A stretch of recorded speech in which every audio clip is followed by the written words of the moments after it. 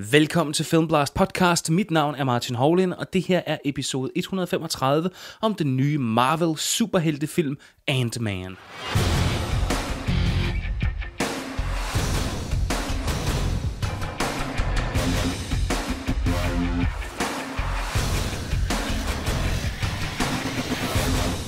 Ant-Man udkom i slutningen af november på dansk Blu-ray fra Disney, og den er en frisk og sjov omgang superhelte-action med Paul Rudd i hovedrollen som verdens mindste superhelt. Modsat andre Marvel-film, så tager Ant-Man sig selv ikke alt for alvorligt, men giver masser af plads til gags og jokes, og det er befriende. Ant-Man har også masser af overrumplende action, og så er Michael Peña og gode gamle Michael Douglas også med til at give filmen ekstra klimt i øjet. Imagine a soldier the size of an insect. The ultimate secret weapon. If you give godlike powers to everyone, it's going to be chaos.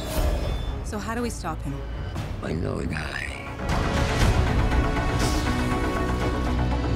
Scott, I've been watching you for a while. You're different. And I believe everyone deserves a shot at redemption. Do you? Absolutely. My days of breaking into places and stealing stuff are over. What do you want me to do? I want you to break into a place and steal some stuff. Makes sense. Are you ready to become a hero? Now, the suit has power. You have to learn how to control it. And these are your greatest allies. You're kind of cute. Whoa. When you're small, you have superhuman strength. You like a bullet. So you need to know how to punch. You want to show me how to punch? Show me how to punch. That's how you punch. Ant-Man er egentlig baseret på et kuldsejlet manuskript af engelske Edgar Wright. Det er ham med Shaun of the Dead og Hot Fuzz og så videre, så videre. Oprindeligt var Ant-Man hans film, og Edgar Wright havde gået og sådan og puslet med ideen siden 2006, men et eller andet gik så i skud og mudder i kulissen, og filmen blev i al hast taget fra ham. Her kommer Paul Rudd og Adam McKay så ind i billedet. Adam McKay, han er blandt andet manuskriptforfatter på Anchorman-filmene, han arbejder sammen med Will Ferrell, og Paul Rudd, han er well, Paul Rudd. De to fik speedet processen gevaldigt op, og cirka et år senere så fik filmen så premiere i biffen her i år 2015. Ant-Man blev så instrueret af Peyton Reed, der også mest er kendt for sine komedier, f.eks. cheerleader-filmen Bring It On fra år 2000, og så også Jim Carrey-filmen Yes Man fra 2008.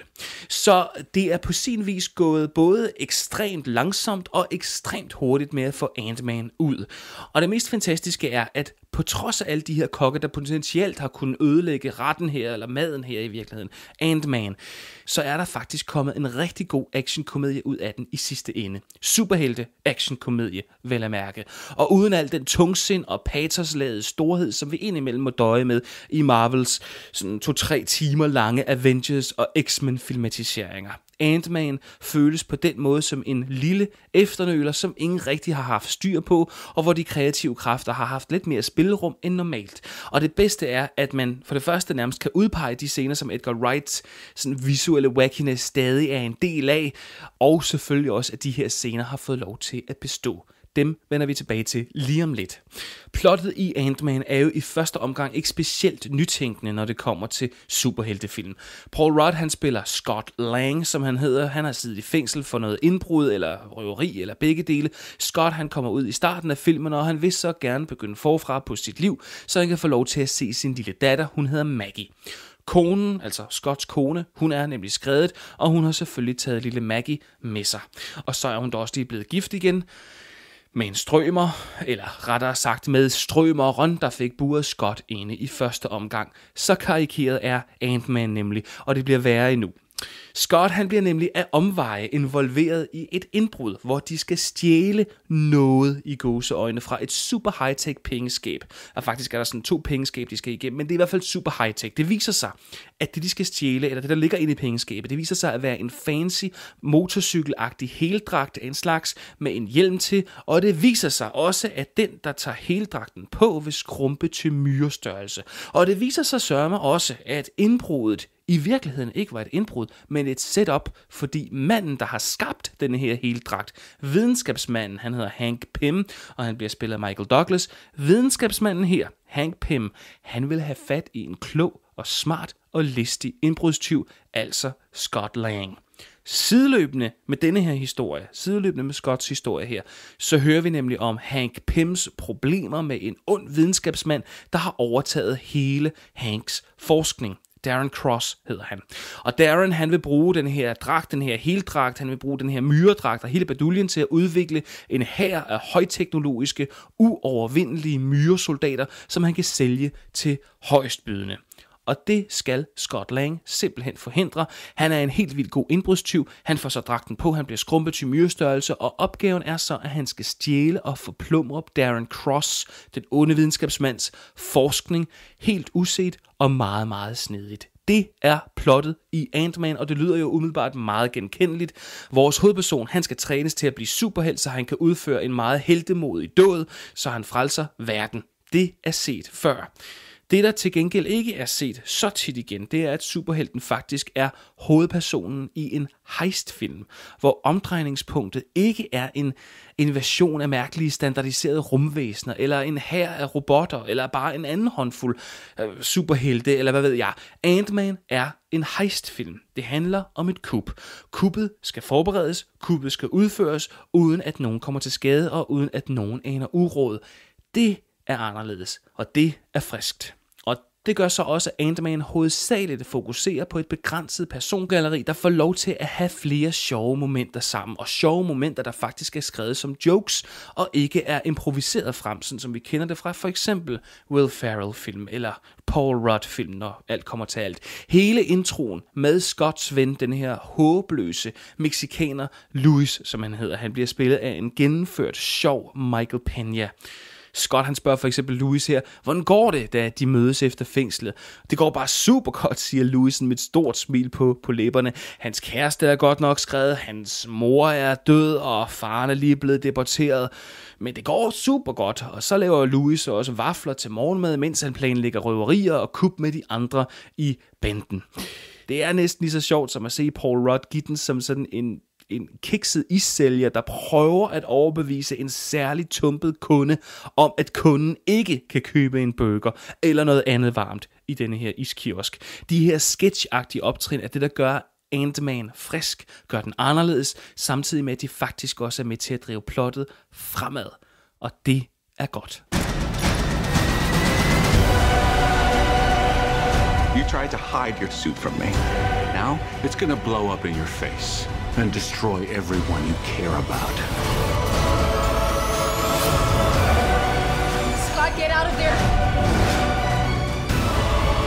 Did you think you could stop the future? You're just a thief! No. I'm Ant-Man. I know. Wasn't my idea. Som sagt, så er der stadig spor af Edgar Wrights visuelle gags i Ant-Man. Der er for eksempel en scene, hvor Louis, mexikaneren, han skal forklare Scott, hvordan han har hørt om det her tophemmelige pengeskab, som de skal røve i starten, og som viser sig at være et setup. Men denne her omgang exposition scene, den er så iscenesat med bravur, for kameraet farer rundt, mens der bliver klippet hurtigt, og vi hører Louis voiceover genfortælle hans samtaler, hans mange samtaler med alle de her medvirkende personer, samtidig med at vi så ser flashbacks til de her samtaler, hvor de involverede bevæger munden med samme mimik og gestik, som om de var Louis selv, sådan en vildt gestikulerende mexikaner, som om de snakker med Louis' stemme. Det lyder, det lyder lidt dumt, men det er faktisk sjovt, fordi det er skudt Igen med glimt i øjet og fuldstændig ubesværet og lejende lidt. Sådan forekommer det. Der er andre scener, der også lugter af Edgar Wrights sådan øh, visuelle stil, eller hans, hans gags i virkeligheden. For eksempel hen imod slutningen, hvor vi har den her store action kamp der konstant bliver klippet, så vi ser den fra vidt forskellige perspektiver, og vi på den måde hopper fra, hvis man kan forestille sig det, sådan myreniveau og en sindssygt drabelig kamp mellem de her mikroskopiske superhelte med høj, pompøs, episk heltemusik og hele pivetøjet, til vi så klipper over til et helt almindeligt menneskeperspektiv, hvor vi ser et lille legetøjstog, der vælter om på siden med sådan et lille klask. Og så tilbage igen til den her drabelige, drabelige kamp med episk musik og det hele. Det er igen sjovt fundet på, og det tager fuldstændig brøden af superhelte effektjægeriet, og hvor er det dejligt. Samtidig med det, så holder Ant-Man så heller ikke tilbage i forhold til effekterne, når kommer til at optage alting i det her myreperspektiv. Der er flere scener, der ser blændende ud, fordi de på en gang er skudt i en ekstrem supertotal, må man vel kalde det, med fokus på Scott i hans myredragt, der ikke fylder mere end sådan 2 mm på skærmen, samtidig med, at de så også er skudt i makro close-up, så selv meget, meget, meget små detaljer fremstår gigantisk store.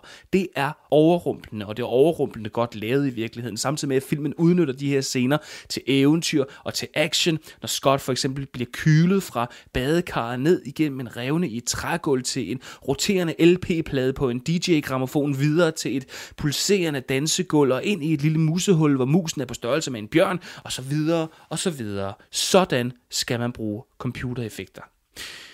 Mit eneste forbehold over for Ant-Man er sådan set, at filmens midterdel og hele træningssekvensen op til det her afsluttende heist trækker meget ud. Og det føles langt, og det føles omstændigt, og filmen ender med at komme op på næsten to timers spilletid, og det er for meget for sådan en letbenet actionkomedie, som det her er. Men det er stadigvæk langt bedre end Avengers-filmene, og det er stadigvæk langt bedre end en hel del andre nyere computerskabte actionfilm.